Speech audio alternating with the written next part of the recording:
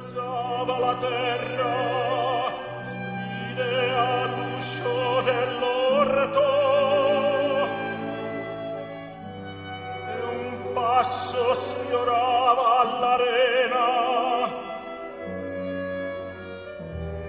entrava la fragrante